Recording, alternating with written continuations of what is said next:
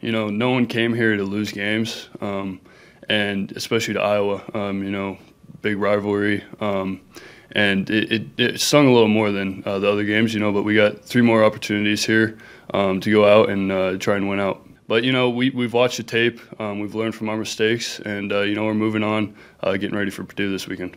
Yeah, I think we definitely have to continue. Um, you know how we practiced last week. Uh, we practiced hard. I think that was one of our better weeks of practice, um, and the guys were fired up. Um, you know, uh, Iowa's a big game. Um, I think we got to approach every game like it's an Iowa week. Um, so hopefully we can can uh, continue to do that these next three weeks.